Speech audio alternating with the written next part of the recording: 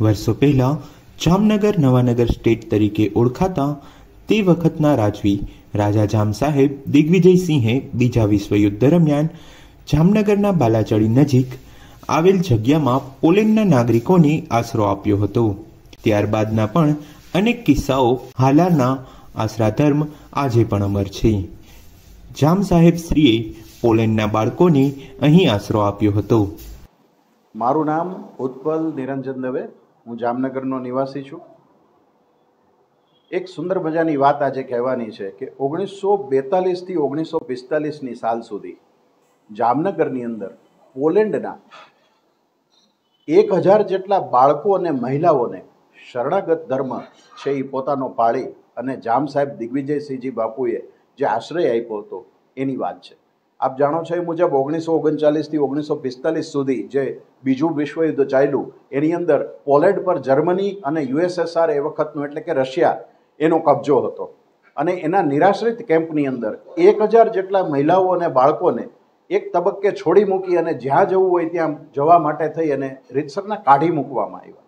એને વિશ્વની અંદર કોઈએ આશરો ન આવ્યો અને એની ભરેલી સ્ટીમર છે એ જ્યારે નવાનગર સ્ટેટ ત્યારે કહેવાતું જામનગર, એના કાંઠે લાંગરી ત્યારે બ્રિટિશ સરકાર અહીંયા હોવા છતાં કે જે જર્મનીના વિરોધી હોવા છતાં, અહીંના જામસાહેબ બાપુએ એ તમામ બાળકો અને મહિલાઓને પોતાના રાજ્યની અંદર આશરો આપ્યો. આશરો આપ્યો એટલું જ નહીં, એના રહેવા, ખાવા, પીવાની સુંદર વ્યવસ્થા કરી, કાયમી વ્યવસ્થા કરી. એ લોકોના રીત રિવાજ, એ લોકોની ભાષા, એ લોકોની સંસ્કૃતિ મુજબ એ લોકોને ભણાવવાની અને પાલન પોષણ કરી અને ઉછેરવાની જવાબદારી પણ જામસાહેબ બાપુએ એક પિતાની જેમ લીધી. અને કહેવાતું એવું કે દરેક બાળકને સૂચના હતી કે દિગ્વિજયસિંહ બાપુ છે, એને મહારાજ કે જહાજા સાહેબ કે કંઈ ન કહેવું, બાપુ કહેવું, કારણ કે કોઈ બાળકને એવું ન લાગવું જોઈએ કે એના પિતા નથી. કારણ કે એમના મોટાભાગના બાળકો અનાથ હતા. એવું ન લાગવું જોઈએ કે એના કોઈ પિતા નથી. એટલે જામ સાહેબ બાપુએ એક પિતા તુલ્ય બની અને એમનું પાલન પોષણ કર્યું. થોડા સમય પછી એવું કહેવાય છે કે એને કોલ્હાપુર પાસેની એક જગ્યાએ શિફ્ટ કરવામાં આવ્યા. પણ મોટાભાગનો સમય છે, એ લોકો એક હજાર જેટલા રેફ્યુજી અહીંયા રહ્યા, અહીંયા પોષિત થયા, અહીંયા વિકાસ પામ્યા અને યુદ્ધ જ્યારે ઓગણીસો ને પિસ્તાલીસમાં પૂરું થયું ત્યારે પરત પોતાના દેશ પોલેન્ડ પહોંચી ગયા. માત્ર આશરો આપ્યો એટલું જ નહીં, બ્રિટનની સરકારને જણાવ્યું કે આ અનાથ બાળકો હવે પોલેન્ડના નહીં, પરંતુ મારા પુત્રો છે, જે તમામ બાળકોને તેમણે દત્તક લીધા છે અને તેમને રાજા દિગ્વિજયસિંહજીએ પોતાની માલિકીની ખાનગી જગ્યામાં રાખ્યા હતા, જ્યાં રહેવા, જમવા અને ભણવાની વ્યવસ્થા કરવામાં આવી હતી. પોલેન્ડ પહોંચ્યા પછી પણ પોલેન્ડના એ નાગરિકો બાપુને કોઈ દિવસ ભૂલ્યા નથી. હમણાં જ થોડા સમય પહેલાં બે હજાર સોળમાં, ભલે બાપુના નિધન પછી પચાસ વર્ષે, પણ બે હજાર સોળની અંદર પોલેન્ડની જે સંસદ છે, એણે એક રેઝોલ્યુશન પાર પાડ્યું.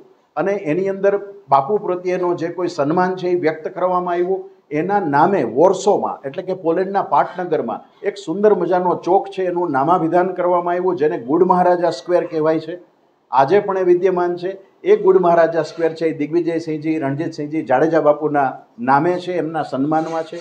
એક સુંદર મજાની હાઈસ્કૂલ પણ એ લોકોએ ત્યાં એસ્ટાબ્લિશ કરી છે, જેનું નામ પણ દિગ્વિજયસિંહજી બાપુ ઉપર જ રાખવામાં આવ્યું છે. અને એની અંદર ભારતીય સંસ્કૃતિને ઉજાગર કરતી દરેક વસ્તુ, અહીંના દેવી દેવતાઓના ફોટા, રંગોળીઓ, સંસ્કૃતિને ઉજાગર કરતા ચિત્રો વગેરે હાઈસ્કૂલની અંદર બાપુના સન્માનમાં જ કરવામાં આવ્યા છે. અને આ રીતના પોલેન્ડની સરકારે બાપુને યથાયોગ્ય, યથોચિત સન્માન આપ્યું, જે યુક્રેન યુદ્ધ વખતે પણ ભારતના વિદ્યાર્થીઓને કામ આવ્યું છે. આ સત્કાર્ય છે એ પોલેન્ડે પોતાના દેશના દરવાજાઓ છે એ ભારતીય વિદ્યાર્થીઓ માટે, યુક્રેનથી આવતા ભારતીય વિદ્યાર્થીઓ માટે ખોલી નાખ્યા. વિઝા વગર એને પ્રવેશ આપ્યો, એટલું જ નહીં. પણ એ લોકોને ભારત પરત મોકલવા માટે જે કોઈ ફ્લાઇટ વગેરેની વ્યવસ્થા હોય, એની અંદર પણ સંપૂર્ણ સરળતા ભારતની ગવર્મેન્ટને કરી આપી. તો એક મહારાજાએ કરેલું સત્કાર્ય સદીઓ સુધી આપણી ભારતની જનતાને, ખાસ કરીને જામનગરની જે જનતા છે એને ગૌરવ થાય એવી વાત છે કે ભારતની તમામ જનતાને ઉપયોગી એવું આ કાર્ય શરણાગત ધર્મ નિભાવતું જામ સાહેબ બાપુ દિગ્વિજયસિંહજી રણજીતસિંહજી જાડેજાએ કરેલું એની આ નાનકડી વાત.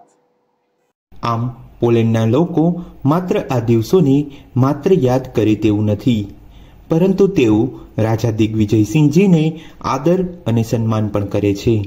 પોલેન્ડમાં સ્કૂલ અને માર્ગ જામ દિગ્વિજયસિંહજીથી ઓળખાય છે.